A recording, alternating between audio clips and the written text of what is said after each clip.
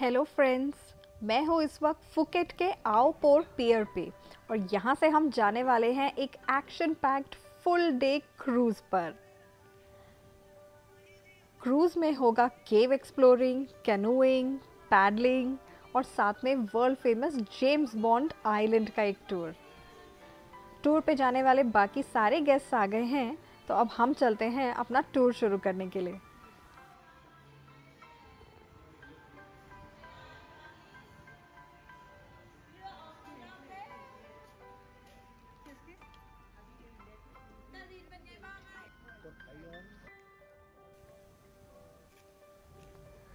ये है हमारी आज की बोट जैसे कि क्रूज़र बोट या यहाँ पर बिग बोट भी कहा जाता है।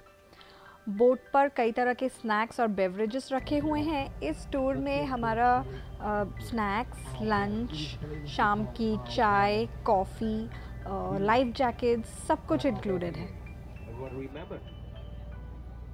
सेफ्टी ब्रीफिंग के बाद अब हम निकल पड़े हैं क्रूज करने पैंगना बे में which is also known as the cruising paradise of Thailand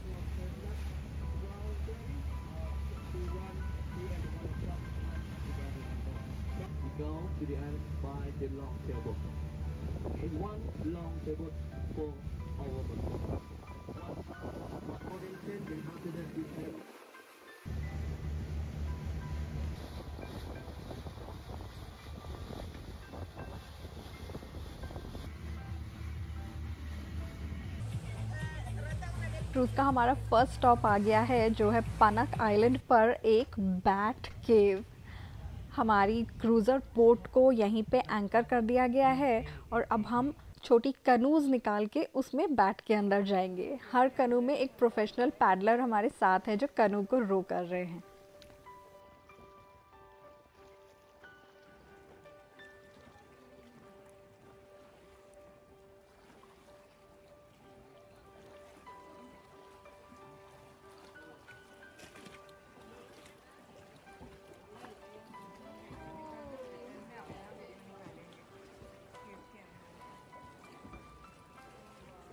ही कर रही हूँ मैं बीच बीच में। स्टैलेक्टाइट और स्टैलेक्माइट जो लाइमस्टोन फॉर्मेशंस हैं, वो देखने में बहुत मज़ा आता है और जैसे जैसे अंदर जा रहे हैं केव में अंधेरा होते जा रहा है।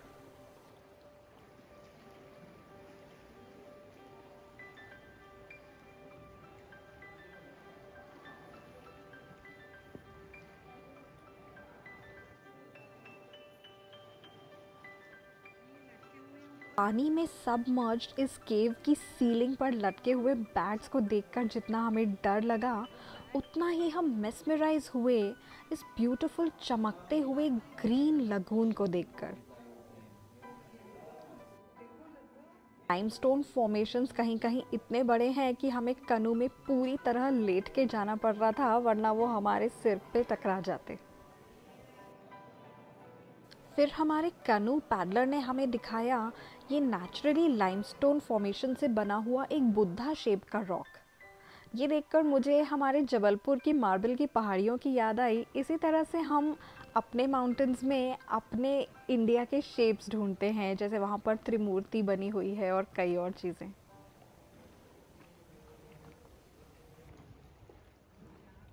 अपनी क्रूज़ बोट पर हम काफ़ी जल्दी वापस आ गए थे। हमारे बाद अभी कई लोग आने बचे थे।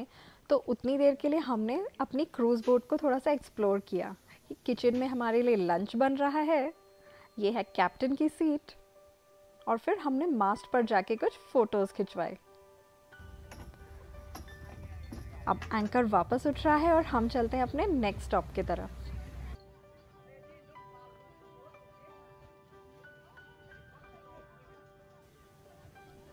नेक्स्ट स्टॉप पर उतरते समय हमने देखा अपने क्रूज़ बोट का इंजन ये देखिए, इस तरह का इंजन रूम रहता है। नेक्स्ट स्टॉप है होंग आइलैंड जहाँ हम फिर से एक बार एक सबमर्ज्ड केव एक्सप्लोर करने जा रहे हैं। इस बार हम केव्स में से होते हुए बाहर मैंग्रोव्स में निकल जाएँगे।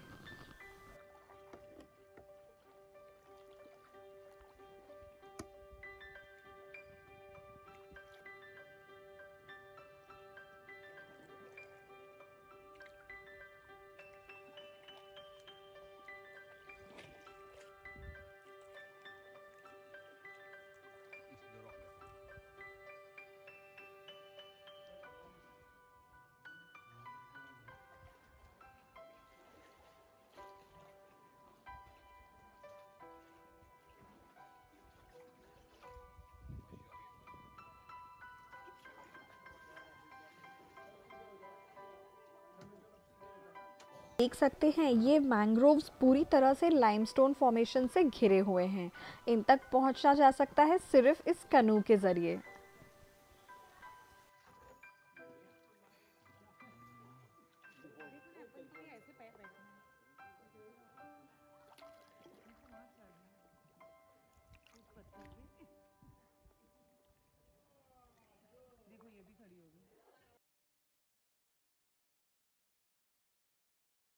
से वापस बोट पहुँचने पर हमारे लिए एक समचुअस लंच बुफे रेडी था, जिसमें हमारा वेजिटेरियन सेक्शन सेपरेट था। The food was very tasty और एक बहुत ब्यूटिफुल व्यू के साथ मैंने आज का लंच एंजॉय किया। Time for the star location of the day James Bond island पर हम अपनी शिप से उतर के एक वुडन बोट में जा रहे हैं। नाम तो काओ फिंग कैन है, लेकिन क्योंकि ये 1974 की रॉजर मूर वाली जेम्स बॉन्ड मूवी की फिल्मिंग लोकेशन है, इसे जेम्स बॉन्ड आइलैंड के नाम से ही जाना जाता है। बॉन्ड फैंस के साथ मैं भी पहुँच गई अपनी फेवरेट मूवी के लोकेशंस देखने, जैसे ये आइकॉनिक रॉक और ये वाली दीवार जहाँ पे मूवी में विलन का जो घर है, उसकी एंट्री दिखाई गई है और ये केव्स जिसके अंदर विलन का वो सुपर गॉर्जियस मैंशन दिखाया हुआ है। James Bond island is extremely popular with tourist तो यहाँ पर बहुत भीड़ रहती है। लेकिन आपको अगर एक अनऑब्स्ट्रक्टेड व्यू चाहिए इस आइकॉनिक रॉक का तो मैं एक आपको टिप देती हूँ। अपने लेफ़्ट साइड की स्टेयर्स ऊपर चढ़ के चले जाइए, फिर सीढ़ियाँ नीचे उतरेंगी और आप पहुँचेंगे एक बहुत सुंदर जगह पे, जहाँ से आपको अनऑब्स्ट्रक्टेड व्यू मिलेगा इस रॉक का। हमने मूवी का जो आइकॉनिक ड्यूअल सीन है, उसको रिक्रिएट किया। अपने फ़ोटोज़ में हमने खुद भी कई फ़ोटोज़ खिंचवाई, हमने दूसरों की भी बहुत सारी फ़ोटोज़ खींच के दी। इनको गुड बाय करते हुए अब हम वापस चलते हैं अपनी बोट पर। सुपर कूल बॉब मार्ली नाम की बोट पर आपको जिस तरह से लोग चढ़ते हुए दिखाई दे रहे हैं वुडन बोट्स में वैसे ही चढ़ना पड़ता है साइड से। और अंदर भी कोई आयल नहीं बना है, आपको बेंचेस के ऊपर से चल के जाना पड़ता है। हमारे नेक्स्ट स्टॉप लावा आइलैंड पर कनू हमने खुद चलाई, जो कि बहुत ही इजी होता है। लेकिन हमारी बोट से लावा आइलैंड के बीच तक पहुँचने में हमारी कनू कुछ इस तरह से गई। खैर, उसका भी अपना ही मज़ा था और किसी तरह हम बीच पर पहुँच गए। बीच पर आके आपके पास फ्री टाइम है। You can sunbathe you can swim एक पूरा ग्रुप यहाँ पर बॉल से खेल रहा है। हमने बीच को एक्सप्लोर किया।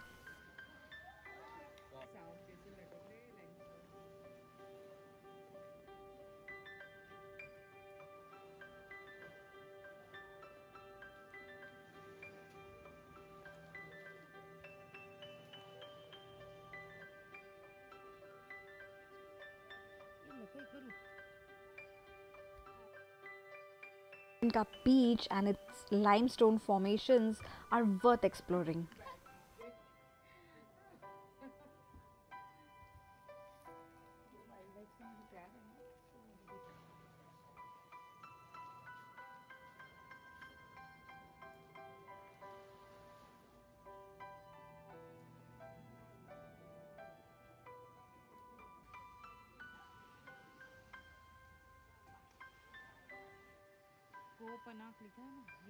पर काफ़ी रिलैक्सिंग टाइम स्पेंड करने के बाद अब टाइम था वापस बोट पर जाने का। वापस जाते समय भी द स्ट्रगल कंटिन्यूड दूसरी कनूस को टक्कर मारने से बचाते हुए और उस सीधे रास्ते पर अपनी कनू को जलेबी की तरह गोल गोल घुमाते हुए हम किसी तरह अपनी बोट पर पहुँच गए। और वापस जाकर it was coffee time on the sea Phuket वापस जाते समय तो हमारे टूर गाइड जेम्स ने बिल्कुल समा बाँध दिया। टूर पे आने वाले सारे लोग अलग अलग कंट्रीज़ से आए हुए थे, पर जेम्स ने इतने इंटरनेशनली पॉपुलर सॉन्ग्स बजाए, जैसे माकरेना गंगनम स्टाइल जिनके स्टेप्स आइकॉनिक है और सबको मालूम है। उसने सबको इन्वॉल्व किया, पूरी हमारी बोट एक पार्टी बोट बन चुकी थी। दिन भर के इतने सारे स्पेशल एक्सपीरियंसेस जो थे, जैसे canoeing cave exploring James Bond island इसके बाद अभी और एक पार्टिंग एक्सपीरियंस बचा था, इसकी मुझे कोई आइडिया नहीं थी। इसने हमारे ट्रिप को और स्पेशल एंड मेमोरेबल बना लिया। अंडावाड़ी टूर्स को मेरे तरफ़ से फुल रिकमेंडेशन है you will have a memorable tour with them मुझे जितना मज़ा आया यहाँ पर, उतना ही आपको आज के वीडियो में भी आया होगा। See you in the next video bye